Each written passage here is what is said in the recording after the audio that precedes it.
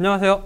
최기봉입니다. 자, 이제부터 7강을 들어갈 텐데 이전 강에서 언급 아, 말씀드렸다시피 이 7강부터는 약간 좀 어렵습니다. 물론 6강도 어려웠어요. 근데 이 7강이 어려운 이유가 뭐냐면 어, 여러분들 지금 행정학만 공부를 했을 거예요. 물론 경영학과이신 분들도 있겠지만 이 행정학만 공부하신 분들은 이 7강 공공선택론 내용이 조금 어려울 수도 있습니다. 왜? 여기에 행정학이라는 것에 어, 경제학이라는 주사를 처방을 했다는 표현이 나와요. 그게 무슨 뜻이냐? 경제학이라는 것을 처방을 해서 그냥 객관 아니 가치 같은 것들을 이제 어느 정도 수치화시키겠다. 그래서 판단해서 민간 기법을 도입하겠다. 뭐 이런 식의 얘기가 나올 겁니다. 그럼 한번 들어가 볼까요? 자, 첫 번째 공공 선택론.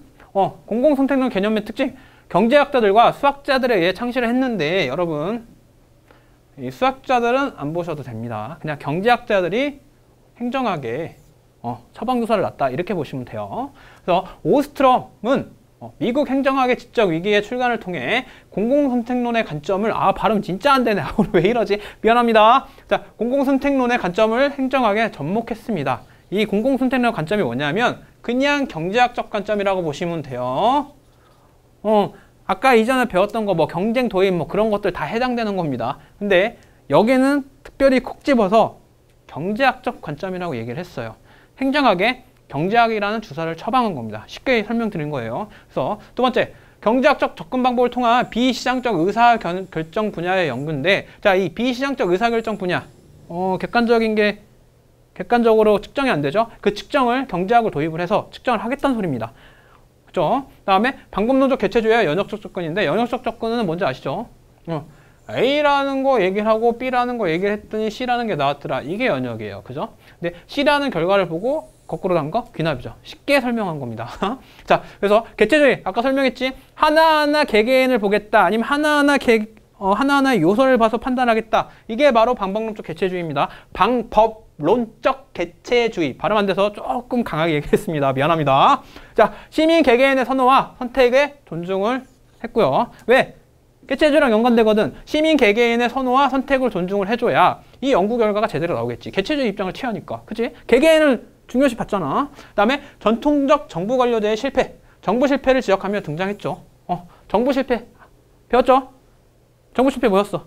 아, 외부 효과, 외부 불경제 뭐 그런 것들이 있었죠. 그겁니다. 자, 정부는 공공재 생산자면서 시민들을 공공재 소비자로 규정했습니다. 여러분 이거 진짜 중요한 얘기예요. 시험 문제 이거 뒤바꿔서 나와요. 왜? 시민들이 공공재의 생산자. 이거 솔직히 좀 쉽지? 이렇게 안 나오고 자 정부는 공공재의 생산자이긴 하지만 어, 시민들은 그냥 공공재 서비스를 받는 사람에 불과하다. 또는 시민들은 그냥 공공재 서비스를 받는다. 소비자라는 표현 안 쓰고 하면 틀립니다. 왜?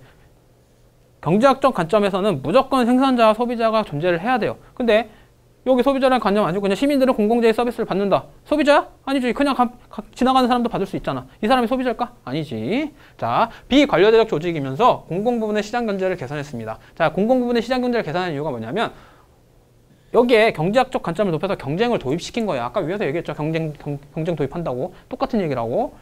그래서 시장 경제를 개선한 겁니다. 넘어갑니다. 자, 그래서 행정이론의 발달, 공공선택 순대 이, 이거를 주장했던 학자들이 있어요. 학자들이 있는데 이거는 그냥 제가 설명을 안 할 겁니다. 지금 설명해봤자 여러분들 머리만 아프고 시험, 수험에서 적합하지도 않아요. 그래서 어떻게 할 건지, 어떻게 어떤 어떤 이론이 있고 어떤 어떤 학자가 있는지만 알고 가시면 돼요. 첫 번째, 중위 투표자 정리, 양당제 하에서 중위 대안이 채택되는 과정과 그 결과의 비효율성을 설명. 비효율성 보이죠?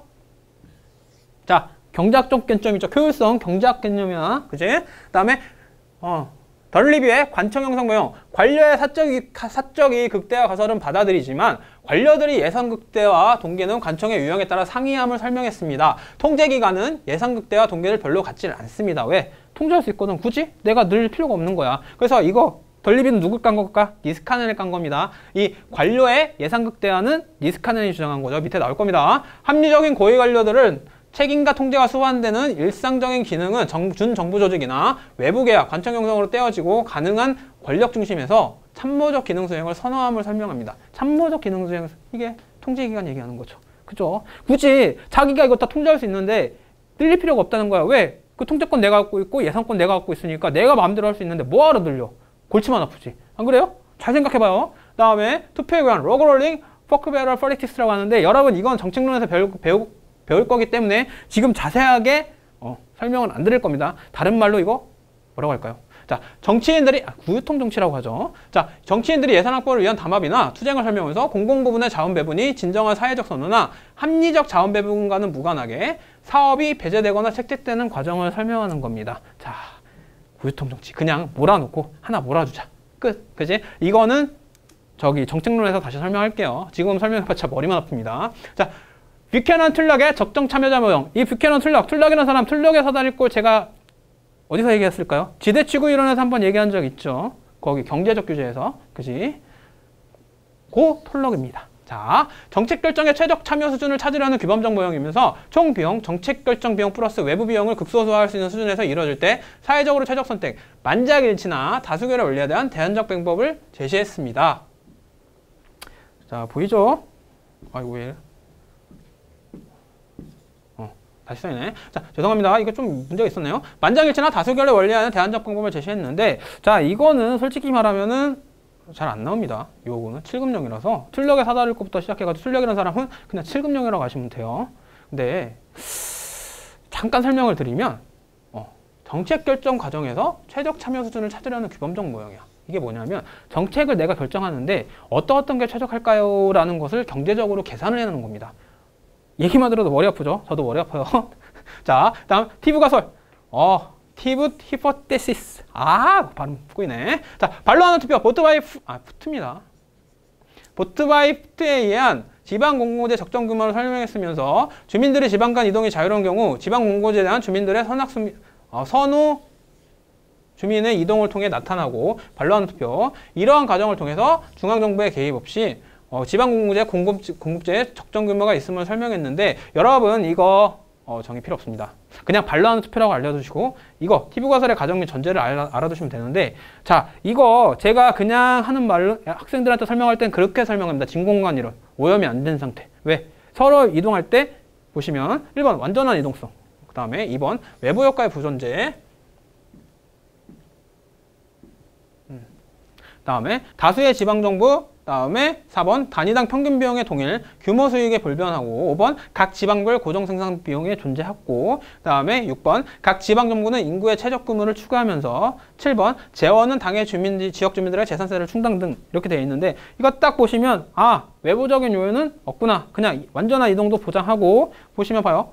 외부 효과 보존도 돼 있죠? 그러니까 이런 것만 다 봐도 아 오염되면 안 되겠구나. 서로 이동한 두 도, 도시 간에는 오염된 오염될 사항이 개입할 수가 없구나 이렇게 보시면 되죠. 그래서 진공관 이론이라고 합니다. 진공관 오염 안 되죠. 자, 그 다음에 공공선택론 3. 그래서 공공선택론 어떻게 처, 어, 공공선택론, 아이, 발음 되게 안 되네. 미안합니다. 자, 공공선택론 어떻게 처방할까? 자, 첫 번째, 다원조직제. 어, 정부와 민간의 다양한 조직들에 의한 공공재의 생산과 공급. 다양한 조직에서 생산하고 공급을 시키면 경쟁이 되겠죠. 두 번째, 비개서적 조정, 개서제적 권한 행사의 자제, 다양한 조직에 의한 자율 생산과 공급을 강조한 건데 이게 무슨 뜻이냐? 어, 그냥 권한 있는 어떠한 권한 있는 뭐 참모 조직 같은 게 지시를 해. 그럼 무조건 만들어야 되잖아. 근데 그게 아니라 그냥 자율적으로 만들고 그다음에 다양한 조직에 의해서 생산을 시키면 경쟁이 되겠죠.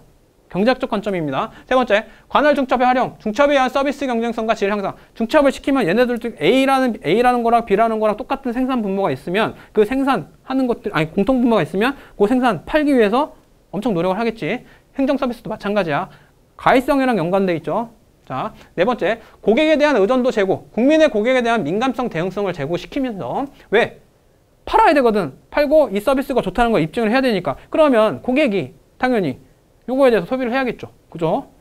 다음에 다섯 번째, 준시장적 수단의 활용, 수익자 부담세 등 수익자 부담주의 강화하고 바우처 시스템의 활용. 바우처 먼저 설명했죠. 쿠폰제입니다. 수익자 부담은 수익, 그러니까 수익을 받는 사람이 부담하는 거예요. 쉽게 설명했습니다. 다음에 여섯 번째, 시민 공동체 구성 촉진, 정부 조직과 공동 생산 및 참여, 시민 공동체의 공동 사업을 비용은 수익자 부담, 수익자 부담이라는 소리 계속 나오죠. 나중에 설명할 겁니다. 지금 맥이 끊겨서 설명을 안 할 거예요. 자, 네 번째, 공공 선택론의 한계 및 비판. 자, 잘 생각해 보세요, 여러분. 공공선택론은 경제학적 주사를 놨다는 걸, 아, 놨다고 얘기를 했습니다. 그러면 뭐가 있을까? 너무 경쟁을 도입시키면 무슨 문제 생겨? 몰인간성 그런 것들 발생하겠죠. 그리고 가치를 약간 배제하는 경우가 있겠지. 그리고 수치화 시킨다 그랬지. 수치화 시키면 당연히 가치도 배제되지. 똑같은 얘기 지금 두 번 했어요. 왜? 중요하니까. 보시면 인간을 합리적인 경제인으로 가정하여 경제적 동기만을 중시한. 자, 무인관성 보이죠? 그다음에 두 번째 공공 부분의 자유시장의 논리와 도입은 시장 실패라는 고유한 한계를 지금. 자, 자유시장 논리라는 게 뭐냐면 우리 시장 실패에서 배웠잖아. 어. 이런 거 이런 것 때문에 시장 실패가 발생해서 정부 개입의 농고가 되더라. 그런데 다시 이걸 다 하면 또 정부 개입을 해야 되잖아. 그러면 다시 정부 실패 때문에 등장했던 게 어, 또 시장 실패로 가고 또 정부가 개입을 해야 돼. 말이 돼? 역설적이죠. 다음에 세 번째, 공공선택론의 실천적 처방률은 현실 적합성이 매우 낮습니다. 왜? 잘 생각해보세요. 행정의 경제학적 주사를 놔서 어, 가치화 또는 수치화를 시키겠다는데 이게 사, 상식적으로 말이 될까? 물론 일부는 가능하겠지. 근데 전체적으로 보면 불가능합니다. 행정이라는 서비스는 무형이에요. 그 무형을 어떻게 가치화시켜? 아, 어떻게 수치화시켜? 말이 안 되는 거잖아. 그지? 자, 다음에 다섯 번째, 개인의 기득권 유지하려는 보수주의적 접근일 뿐이다. 왜? 경제학 자체가 보수주의적 접근이고 이 보수주의란 말 앞에서 한번 나왔습니다. 어디서 나왔게? 사이먼. 그지? 사이먼도 어, 가치와 사실을 분리하되 사실만을 기준으로 판단하기 때문에 아, 이것도 보수주의적 관점, 보수주의적 관점이다. 그러면서 제가 1 더하기 1은 2라는 얘기 했죠. 1 더하기 1이 3이 되는 경우가 있을까? 근데 사람 대 사람을 놓고 보면 1 더하기 1이 3이 되는 경우도 분명 있죠. 1 더하기 1이 1.5가 되는 경우도 있고. 왜? 이 사람이 노동자를 봤을 때 전에 얘기한 것처럼 이 한 명이라는 사람이 0.5인분의 일만 할 수도 있고 놀, 놀고 먹으면 되거든. 또는 두 명분의 일을 할 수도 있는 거예요. 그럼 3이죠. 이런 것들입니다. 이런 것들 때문에 비판을 많이 받아요. 자, 그리고 우리 신제도론. 여기에 여러분들 어려워하긴 하는데 이 파트도 사실상 시험 문제에 뭐 많이 나오진 않습니다. 근데 중요한 파트이기 때문에 개념 정도 그 다음에 어떤 어떤 게 있는 건지 그런 것들은 알고 가셔야 돼요. 특징이랑. 그래서 그냥 이거는 어, 더 리더가 될 겁니다. 왜? 여기는 딱히 제가 설명할 게 없어요. 그냥 방법론적 개체주의, 방법론 전체주의가 뭐고 맥락 의존성이 뭐고 이 정도만 설명을 드릴 거예요. 자, 신제도론, 구제도론. 자, 구분. 제도의 개념과 범위, 제도의 형성, 형성 성격, 그 다음에 연구의 초점. 초점이 어디에 맞추나 다르지. 자, 구제도론. 공식 법령, 정부 조직, 인간의 행위가 사회 현상을 불포함했고, 봐요. 구제도론에서는 그냥 외면적인 형태만 보겠다는 거야. 아, 설명 안 한다고 해서 지금 설명을 하네. 미안합니다. 자, 다음에 외생적 요인에 의해서 일방적으로 결정이, 아, 제도가 결정됩니다. 제도가 결정된다는 소리예요. 다음에 공식적, 정체적, 보편적 특성을 지니며 연구의 초점은 제도가 어떻게 기술되는지, 어떻게 쓰이는지 그거를 보는 거예요. 다음에 공통점, 정치, 행정, 경제 등 사회현상의 연구에 있어 제도를 가장 중시하는 접근. 신제도로는, 구제도로는 제도를 중시하기 때문에 제도란 얘기가 들어간 거예요. 그죠? 이해했죠? 여기까지? 오케이. 자, 신대적론 공유 규범, 관습까지 포함. 자, 인간의 행위나 사회 현상을 포함하는 거고 두 번째, 제도의 형성 성격은 제도와 행위자 간의 상호작용으로 형성되는 제도면 비공식적, 동체적, 문화적 특성에 포함되는 겁니다. 자, 그 다음에 분석적 특성에 기반을 둔 설명과 이론의 발전에 초점을 뒀죠. 왜? 왜 그럴까? 공유 규범, 그 다음에 인간, 인간의 행태에 초점을 뒀죠. 그래서 분석적 특성, 분석을 안 하고선 이 사람이 어떻게 행동하는지를 몰라. 어떻게 이런 제도가 나오는지도 몰라. 그렇기 때문에 설명과 이론의 발전에 초점을 둔 겁니다. 왜 이걸 설명해야 되거든. 그지? 말 되지? 그러면 공통점 한 번 더 읽어줄게. 자, 신제도로든 구제도로든 이렇게 보시면 돼요. 구제도로는 그냥 외형적인 특징에 많이 초점을 뒀고 신제도로는 안 보이는 무형의 성질, 그러니까 인간의 행동 양태 또는 심리, 뭐 사회 현상 그런 것들의 특징을 줬다고 보시면 되며 그럼 이해되죠? 자, 그 다음에 신제도로의 특성 사회 현상을 연구하는데 제도라는 사회의 구조화된 측면을 가장 중시하는 접근법이고 자 구조화된 측면 이게 제도죠. 다른 말로 하면 그 다음에 두 번째 원자화된 개인이 아닌 제도라는 맥락 속에서 나타나는 개인행위에 초점을 맞추고 어 이거 어디 많이 봤지? 아까 하버트 사이먼 어 방법론적 개체주의 많이 봤죠. 그 다음에 세 번째 형성된 제도는 쉽게 변화하지 않음 제도의 안전성 제도는 쉽게 변화하지 않죠. 왜? 그 제도는 솔직히 말하면 사회적인 구성원들의 합의에서 만들어진 거고 그 다음에 역사적으로 만들어진 거기 때문에 이게 변형돼 버리면 사회 전체가 깨져버려요. 틀이. 그 틀을 깨고 싶겠어? 나는 나 저도 솔직히 안정성을 유지하는 타입이기 때문에 이 제도를 깨고 싶지 않아요. 그래서 법을 지키는 거고 그래서 이 나라라는 어, 이 나라의 법규, 규범 등을 지키는 겁니다. 여러분들 그럴걸? 그죠? 다음에 다섯 번째 제도는 독립변수이자 종족변수. 자, 독립변수이자 종속변수 자 이게 뭘까요? 독립변수는 그냥 변하는 거. 종속 변수는 변하는 상황에 따라서 따로 변하는 거. 이렇게 보시면 됩니다. 간단하게 설명한 거예요. 자, 넘어갑니다. 신제도든 유파별 비교인데 여러분 여기서 중요한 거는 역사학적 신제도주의랑 합리적 선택적 신제도주의, 사회학적 신제도주의의 특징입니다. 자, 봐요. 역사적 신제도주의, 신제도주의. 아, 미안합니다. 발음이 계속 꼬이네. 발음이 너무 꼬여. 자, 역사적 신대조주의 제도 장기간의 역사적 과정이면서 맥락 의존성을 띈다. 이 맥락 의존성이 뭐냐면 역사의 길을 계속 따라가. 역사는 반복된다는 소리 있지. 그러다 보니까 이 길을 벗어날 수가 없는 거야. 벗어나기보다는 벗어나다 아주 살짝 벗어나. 이걸 맥락 의존성이라 그래. 그 길을 따라가야 하는 거. 그냥 그 길을 따라가면 안전하니까. 자, 두 번째 제도의 변화. 역사적 변화점에서 급격한 변화가 나오고 급격한 변화가 나왔을 땐 이 역사적 신대조주의가 나오는 거죠. 중점. 제도의 지속성과 제도 형성의 과정을 중시. 정치적 영역을 자율성인데 자, 변화에서 급격한 변화는 우리나라로 치면 뭐 뭐가 있을까? 고려시대. 새로운 나라가 건립이 됐죠. 그 다음 조선시대. 그죠? 조선시대. 이후 그 다음에 근대 태동기. 뭐 일제시대. 이런 것들 보는 거죠. 근데 계속적으로 보면 반복되죠. 이걸 맥락 의존성이라고 합니다. 이해되죠? 다음 선호 형성, 내생적 정치체제가 개인의 선호를 형성하고 제약. 왜? 맥락 의존성이니까. 맥락을 따라가야 되니까. 그 다음에 학문적 기초, 정치적 역사학이고 접근법, 방법론적 전체주의, 기납적 주권 사례 연구인데 자 전체주의 아까 얘기했죠. 전체적인 틀을, 틀 안에서 제도를 분석하는 겁니다. 이해하셨죠? 개체주의를 할 수가 없는 게 하나하나 분석해서 어떻게 그걸 역사를 만들어놔. 말이 안 되는 거지. 그래서 이건 전체주의일 수밖에 없다. 왜? 시간이 안 나와. 돈이 많이 들어. 생각을 해보세요. 그죠? 그리고 역사를 파악하는데 어떻게 그 개인 고려시대 시민, 고려시대 시민원이랑 조선시대 시민원 이 두 개를 비교할 수 있어? 난 뭐 비교 못할 것 같은데? 이 개개인의 특성이 다 다르잖아. 그러니까 어쩔 수 없이 전체주의 입장을 취하는 겁니다. 아셨죠? 자, 사회학적 신대조주의 이것도 분명히 방법론적 전체주의야. 왜? 사회니까. 이거는 역사고. 그지? 아까도 얘기했지만 시민원, 시민투, 고려시대 시민원, 그다음에 조선시대 시민원 이렇게 따로 구분해서 볼 수가 없는 겁니다. 근데 이거는 있죠. 전체적으로 보면 그냥 고려시대 사람, 아 조선시대 사람 이렇게 해서 볼 수는 있죠. 그죠? 자, 사회적 정당성 획득을 위한 상징이고 도덕적 기초, 문화 등을 얘기하며 동영화의 잔흥과 정당성의 획득입니다. 자, 동영화가 뭐냐면 그냥 닮아간다.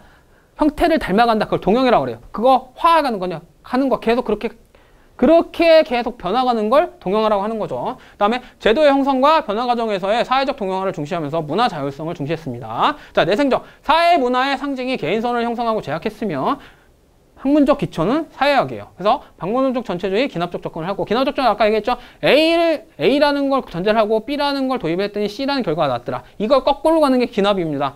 결과를 보고 그냥 찾아가는 거예요. 근데 연역은 전제를 깔고 그냥 바로 결론으로 가는 거고, 그지? 자, 합리적 선택의 신대조주의, 개인 등 간의 합리적인 선택의 결과로 형성된 계획의 균형이 균형을 말하는 거고 비형 편익의 변화와 전략적 선택인데 자 이게 합리 선택적 합리적 경제인 경제인이라는 얘기 많이 들어봤죠? 그냥 이성적으로 사용한다. 그 이성적으로 사용하는 게 뭐냐? 투입 대비 아웃풋, 그러니까 인풋 대비 아웃풋을 정확히 파악해서 좀더 옳은 방향으로 가는 거. 그 얘기하는 겁니다. 개인들 간의 전략적, 선, 전략적 선택 중시인데 자 개인 간의 전략적 선택을 중시하는 이유가 뭐냐면 여러분들 어떤 사람을 대할 때 아 이 사람은 여기까지만 가야겠다. 이 사람이 이 선을 넘으면 이 사람 나 버리겠구나. 이런 생각 들죠. 그런 걸 전략적 선택이라고 합니다. 자, 외생적 선호. 개인 선호는 선험적으로 결정되고 그다음에 학문적 기초는 경제학입니다. 왜? 보이죠? 비용 편익. 그래서 이거 효과성을 중시하는 걸까? 효율성을 중시하는 걸까? 아니면 능률성을 중시하는 걸까? 자, 아까 수단적 가치에서 배운 거 한번 써봅시다. 자, 임, 비용 대비 편익이지. 바꿔볼까? 비용은 뭔가를 생산할 때 투입되는 비용을 얘기하겠지. 그럼 인풋으로 바꾸고 편익은 베니핏. 베니핏은 어, 뭔가를 투입해서 생산된 아웃풋을 얘기하겠지. 그럼 인풋 대비 아웃풋이잖아. 이거는 efficiency. 아, 발음 꼬이네. 자, 미안합니다. 자, efficiency. 능률성을 얘기하는 거겠죠.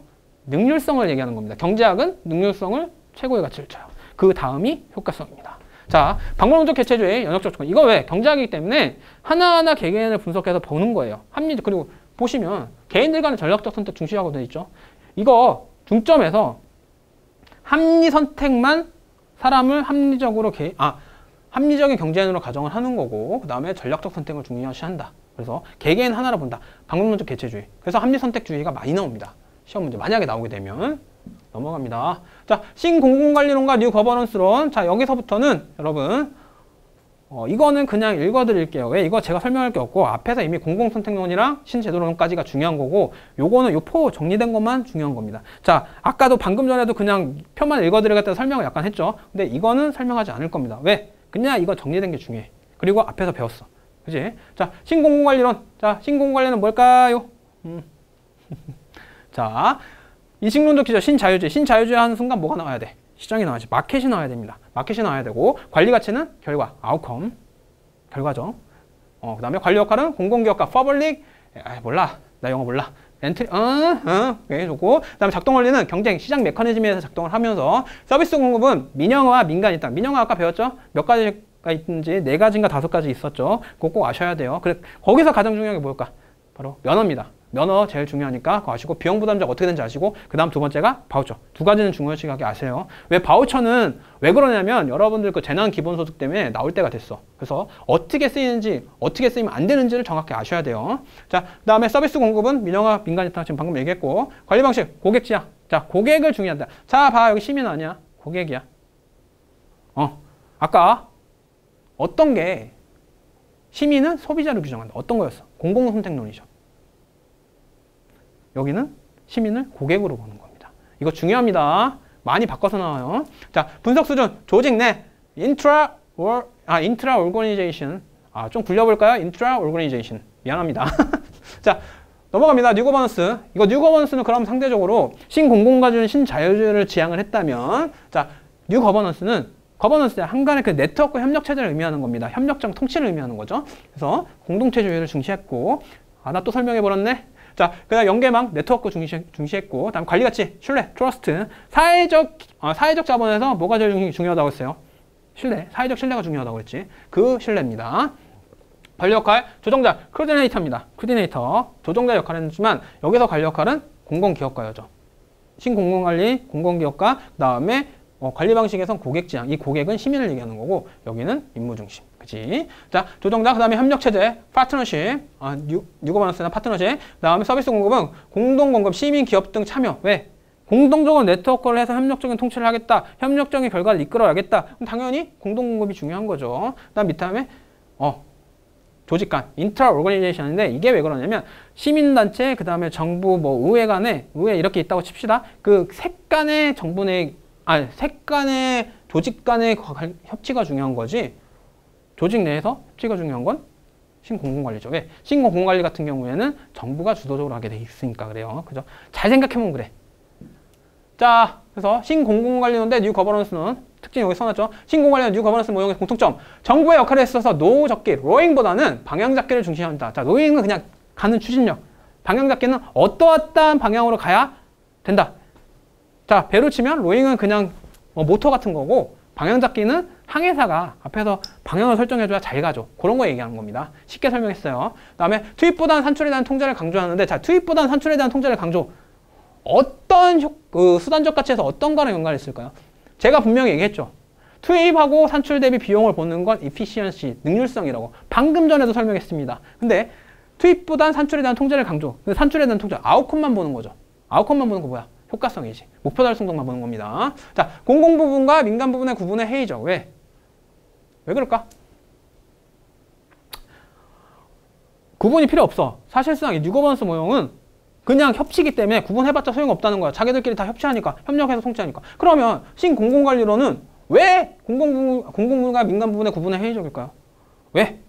이것도 똑같아요. 신공공관리라는 관공관리론 자체가 그냥 안 해. 자기 안 해. 봐요. 그냥 그 행정 부분 안에 경쟁기법을 도입한 겁니다. 신자유주의 이념이라고 했지. 경쟁기법을 도입하니까 굳이 민간, 민간이랑 구분할 필요 없어. 그냥 같이 경쟁해. 이렇게 돼버린 거야. 그치? 말 되지? 자, 4번. 경쟁과 조정 원리를 신봉했고, 자, 경쟁 원리를 시정, 신정, 신봉했고, 이 조정 원리는 invisible hand, 그 자유시장의 경제력에 의해서 자동으로 조정되는 걸 의미하는 거고, 이 뉴거번스에서는 어떤 걸까요? 그거죠. 사회적 신뢰를 위해서 사회적 자본이 형성되면 그 사회적 자본에 의해서 어, 자동으로 조정되겠지. 협치니까. 그지?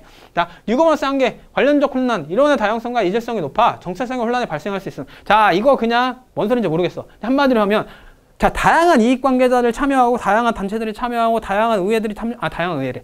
그 다양한 행정 관료들이 참여를 하면 당연히 배가 산으로 가지. 그리고 생각이 각각마다 다르지. 이질성, 혼재하죠. 그렇기 때문에 혼란, 그때야겠죠. 그 다음에 두 번째, 경험적 연구를 위한 모형 설정의 어려움. 자, 거버넌스에 내줘야 되는 변수가 많아. 모형화가 어려움. 자, 이게 무슨 소리냐? 경험적 연구가 뭐냐? 집단 간의 토론과 타협을 계속 해야 되는데 어마어마하게 많잖아. 이익 집단도 많고 뭐 국회의원들도 많고 관료들도 많은데 이 사람들 다 하나하나 봐가지고 경험 정보에서 쫓아내면서 이거 다 적을 거야? 아니잖아. 그러니까 모형화가 당연히 어렵죠. 그죠? 다음에 세 번째 책임성의 문제. 모두의 참여는 모두의 무책임을 야기했었으면 자기가 나섰다가 자기가 또 물러먹게 생겼거든. 솔직히 세 명 있는데 어떤 사람 할 사람 있으면 많이 겪어봤을 텐데 고등학교랑 초등, 초등학교, 중학교 때 저도 그래요. 저도 뒤에 숨어 있었어요. 이거 할 사람 하면 안 들었어요. 왜? 어, 괜히 내가 타겟 될 것 같구나. 그죠? 그 다음에 4번 정부의 비대. 현실적으로 정부가 민간을 압도하여 수평적 영역은 어려운. 지금 행정국가 현상이라고 하죠. 현대사회를. 행정이 그러니까 행정부가 하는 일이 워낙 많아. 우리나라한테 게다가 입법까지 입법과정까지 관여를 해요. 그렇기 때문에 정부가 어마어마하게 큰데 이런 큰 조직을 누군가 이길 수 있어? 어, 내가 이 조직에 대해서 반기를 들 수 있어? 난 못 들 것 같은데.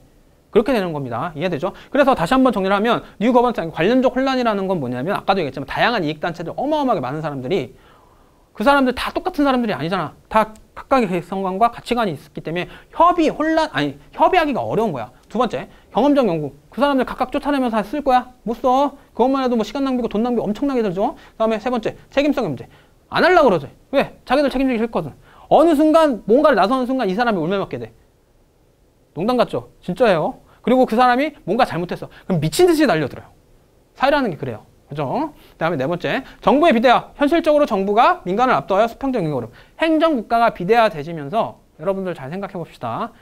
입법 과정, 입법 과정까지 관여를 하는 정부에 누가 대들 수 있겠어? 나는 못 대들 것 같은데 내가 이익단체라면 이익단체의 하나의 사주 수장이라면 이 정부가 이대로 하세요 하면 그걸 안 따르면 나한테 불이익 줄까 못할 것 같아. 이 정부가 그렇다는 게 아니야. 근데 사람이라면 누구나 다 그렇겠죠. 그죠? 자, 신공공 서비스는 MPA, 아, MPS, New Public Service 서비스라고 합니다. 자, 이거는 솔직히 말하면은, 어, 잘 나오진 않습니다. 근데 앞에 MP, 아, 앞에 뭐 신공공관리론, 그죠? 그 다음에 뒤에, 그 다음에 New Governance론, 학, 거버넌스론, 뭐 공공 선택론과 맞물려서 나오기 때문에 이런적인 거는 알아, 알아두셔야 돼요. 발음 꼬여서 죄송합니다. 자, 데나르트는 데나르트입니다. 어, 전통적 행정과 신공공관리를 모두 비판했습니다. 왜? 왜 그랬을까?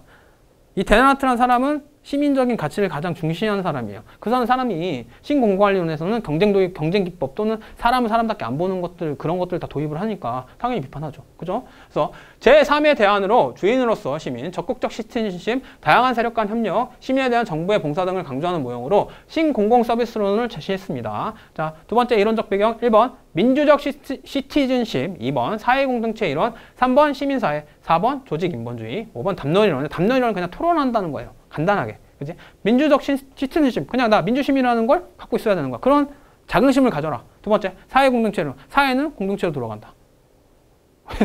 제가 지금 정의를 너무 쉽게 해서 어이가 없죠. 근데 바로 이겁니다. 이렇게 하셔야 행정가 쉬워요. 그 다음에 세 번째, 시민사회. 어, 그냥 시민끼리 이루어진 사회구나. 왜요? 어이없어요?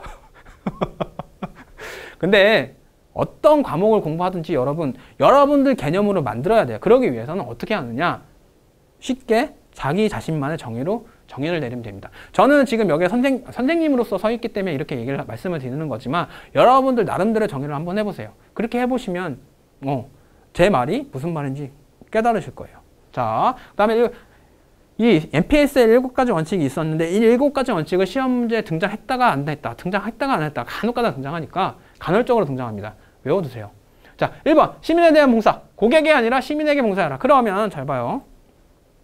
고객으로 본 거 누구야? 아까 신행정론, 아 신행정, 아 신공공 서비스, 아 신공 신공공 관리론. 아 미안합니다.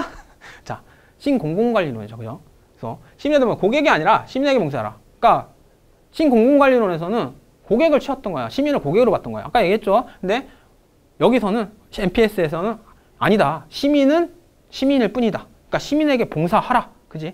하나의 물건을 파는 객체로 보지 마라. 소비자로 보지 마라. 이렇게 얘기를 했겠죠. 그 다음에 공익의 중시. 공익은 부산물이 아니라 목표이다. 이거 어디랑 연결, 연결될까요? 자, 공익은 목표이다. 아, 어딜까? 앞에서 어, 본질적 가치에서 실체설이야, 과정설이야. 자, 공익은 목표야. 협의의 목표다.